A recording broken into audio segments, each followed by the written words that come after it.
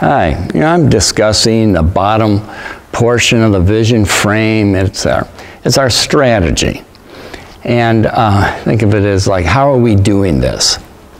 Like a flashlight showing our way. And uh, the main aspect of the, you know, of our strategy is discover peace. And it's a lifestyle of uh, invitation and discovery. And there's three parts of discover peace. And it's worship. And it's a worship as a community, receive and, and uh, rejoice in, in Christ's uh, word. And uh, the other aspect is serve on a team. And we share Christ's peace with others many aspects, many different endeavors of serving on a team here at Prince of Peace. And then it's connect in a group.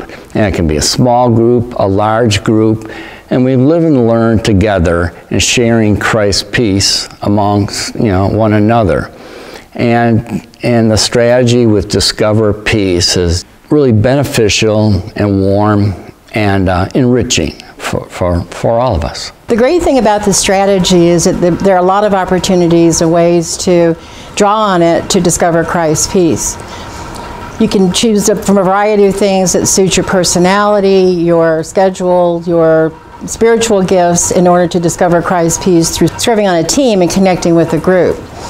If you think about serving on a team, there you can there are a number of ways you can do that. Serving on teams that um, do things for the congregation, like worship hosts who um, serve the congregation during worship services.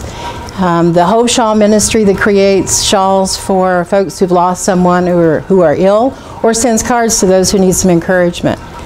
And then there are teams that work with the community like the one that is working with kids at Lincoln Elementary School behind me for children. It's called Kids Hope and it's for kids who need a little extra adult support. In terms of connecting with a group, we know of peace groups. They've been around for a long time and there are a lot of them. Some are for men, some for women, some for couples. So you can find one that suits you. There are Bible study groups. There are groups that meet just for special interests they'd like to pursue together.